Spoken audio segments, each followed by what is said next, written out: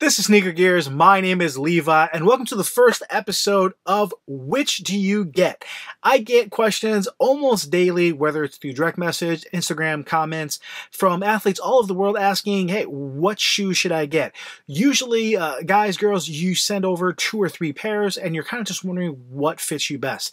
And I'll go over a few questions and really just want to show you kind of how I analyze it and show you what is the best shoe, just because what you wear, the gear you use makes a difference. Now, you can hoop in anything. So, a guy saying, Well, I, I hoop in this shoe, or I don't care. You can hoop sandals, Timberlands, it doesn't matter. But if you're trying to be competitive, if you're hooping at an elite level, it makes a difference. So, we're going to start off with a pairs I was looking at, and I wanted to give you some insight. But going forward, if you have a few questions and you would like me to do a video on what your decision process was or how I helped you, I'd love to do videos on what you guys sent in to me. But the two pairs I was looking at are going to be the LeBron Soldier 12 which is last year's version, and the Hyperdunk 10, which is now obsolete. So both are available for really good value. I was able to get the uh, LeBron Soldiers for $60 or I was able to get the Hyperdunk 10 for $45. $15 difference, at least to me, is not that big of a difference. So depending what your budget is. I'm not going to give financial advice, but set your budget, try to stick to it. And at least for me, a 10 to $20 swing is not that much if I'm trying to get the better shoe. All that being said, let's get into it.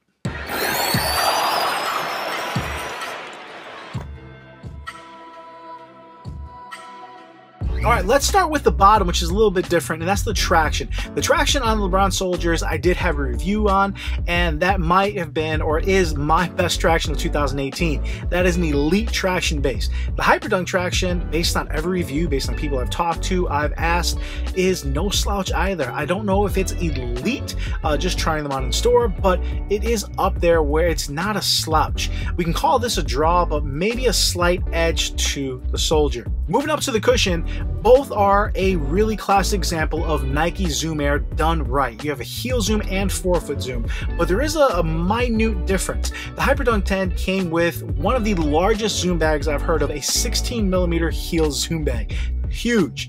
The LeBron Soldier doesn't fall too much behind. It's a 14 millimeter zoom bag. Again, both you can really feel. The forefoot zoom, which I prefer having more cushion there, the Soldier pulls ahead with a 10 millimeter zoom bag, which is fairly massive. You can definitely feel it. The Hyperdunk has about a 7 millimeter, depending if you have low or high. It does range right around that 6.8 to 7.1. So I don't know if it's exact, but right around 7 millimeters, and you can kind of feel the difference.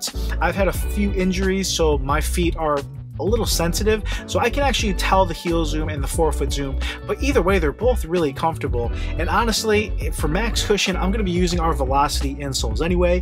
These fit in both without any issues. Again, just trying them on in store. And if I wanted that max zoom setup, I'm definitely going to get it with our Velocity insoles. Moving up to the support, this is where things get a little bit different. The Hyperdunk has way more lateral containment and lockdown, especially in the high, but the high or low, I don't really think I had a preference, than the Soldier 12. Now, a lot has to do with how it fits your foot. At least for my shoe, I wasn't able to get a great lockdown fit in the Soldier 12, whereas the Hyperdunk really just locked me in. And even if you are able to get a really nice locked in fit in the Soldier 12, it's not a shoe that has a ton of containment. So even though it is enjoyable, it is a really good shoe. There's going to be other shoes that are going to have better support. Now, if you don't really need that much support, you're able to play without having that much, then it's a great shoe. I prefer having support towards the high end, but not really a max setup. So for me, the support really swung towards the Hyperdunk. Now, lastly, and most importantly, is going to be fit, and this is where things came into play. I already did the review on the Soldier 12, and the biggest issue for me was the fit. And going back, that was a 12 and a half. This time I did try on a 13, and it fit me a little bit better, but honestly, I didn't quite get the locked in I wanted. I didn't quite feel uh, secure enough if I'm going to be hooping these. Now, if they're for casual use, I think they're great. I think it looks a little bit better. Uh, I love how the materials they use, where I had kind of a leather toe box in the pair I was looking at. And if you follow me on Instagram, you can see it's a nice bread colorway, being from Chicago, kind of black and red. So I really like the styling on the Soldier 12, but ultimately, the fit, the lockdown, the support, on these Hyperdunks really just won me over. Not to mention, they're still 25% less. Now, if the Soldier 12s were the better overall shoe, that 15 bucks wasn't going to hold me back. But at the same time, you definitely want to be fiscally responsible.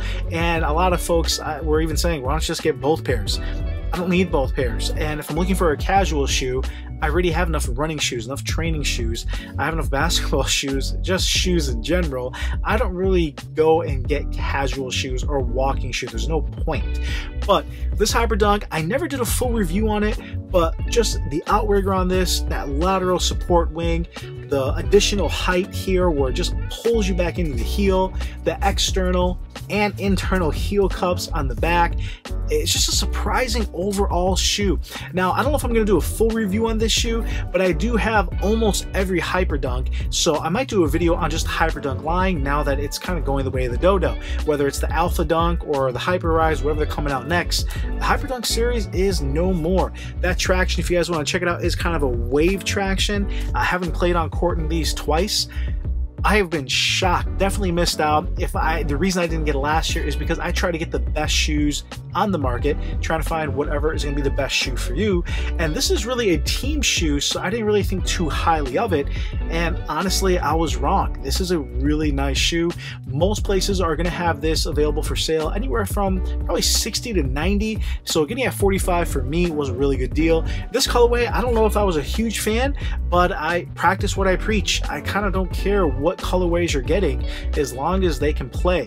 Uh, that being said, I generally like the bread colorways being Chicago, being a Bear uh, Bulls fan. So this uh, actually worked out pretty well. I do like that it has a little patch of leather on the heel, and I do like the fact that you have multiple uh, types of materials with that neoprene kind of in the fourth in the midfoot. So my wide midfoot fits really nicely here. I did go with a 13 and it fits pretty much just right. I don't know if I could do a 12 just because of the width and the shank here but uh, overall I think I made the right choice. I'm pretty happy with it.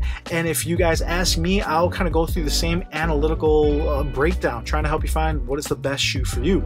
We all have different feet, different needs, different preferences. So if you're going to give me two, three shoes, I'll try to break it down and we'll find the best shoe to help you perform at your best.